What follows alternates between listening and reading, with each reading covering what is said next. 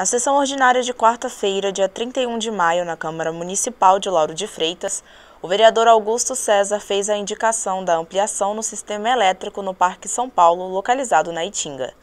Segundo o vereador, a expectativa é que nos próximos seis meses haja melhorias no sistema de eletricidade local.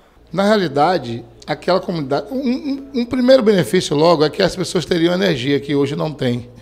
Porque à medida que cai, começa a cair chuvas, praticamente durante o dia, em 24 horas, as pessoas passam cerca de três, quatro vezes ao dia a energia indo e voltando, indo e voltando. Isso não pode num, num bairro hoje próximo da capital, um município que tem mais de 200 mil habitantes. O bairro hoje que já é bairro Parque São Paulo, nós temos cerca de hoje quase 15 mil pessoas.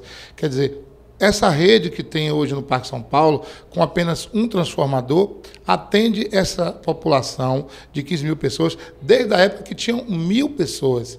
O que nós estamos solicitando é que faça ampliação dessa rede, graças a Deus, em contato com a Secretaria de Serviços Públicos, na pessoa do nosso grande amigo Tom, ele que faz o trabalho da iluminação, já disse que entrou em contato com a Coelba e a Coelba se sensibilizou, já tem algumas reclamações e nós temos um abaixo assinado com essas pessoas e apresentamos.